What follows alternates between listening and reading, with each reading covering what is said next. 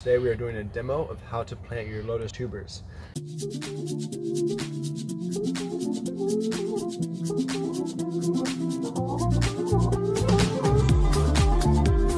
Hey guys, Jennings here with Pond Megastore. Today we are doing a demo of how to plant your lotus tuber tubers. Now today we have three different varieties, but these are all medium to small varieties. If you were to use a larger variety, we would want a much larger pot.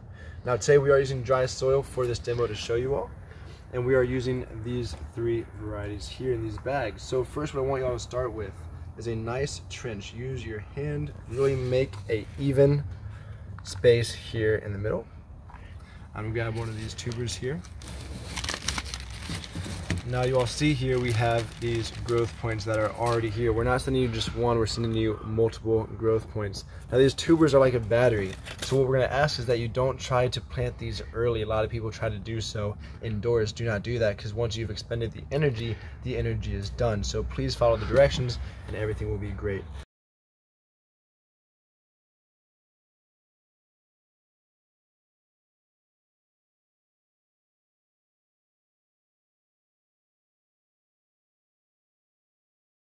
So once you have your trench here, everyone, we're gonna lightly place this into the trench. What we're gonna do is, as we use our fingertips to brush the soil back in, what I want you all to please make sure of is that your growth tips are pointing up and out of the soil, so do not go crazy with covering your tuber. Take your time. You can even use your fingers like I am to hold some of the growth points up and to rotate. And once you are good here, you can go ahead and put it in no more than one to two inches of water to get it going.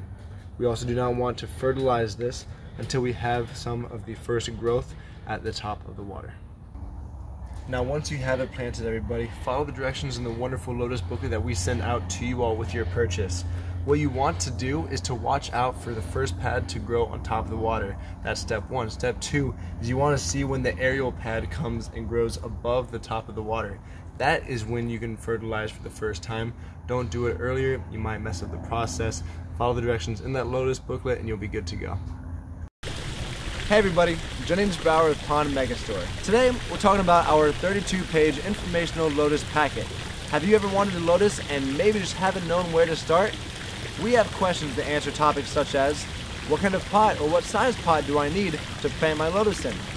You receive a handbook with every single Lotus purchase you get on www.pondmegastore.com. So have no fear and order Lotus here.